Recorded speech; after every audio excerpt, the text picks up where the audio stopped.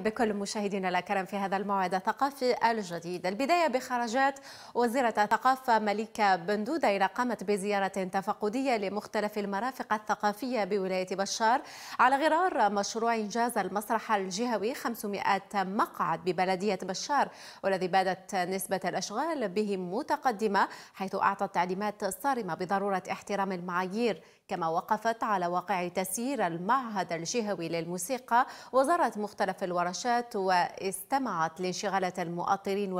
والمسؤولين كذلك على هذا الصرح الثقافي كما أعلنت الوزيرة عن إطلاق عملية لإعادة الاعتبار لمخطوطات خزانة القنادسة العريقة. التغطية كانت لمهدي بوشتا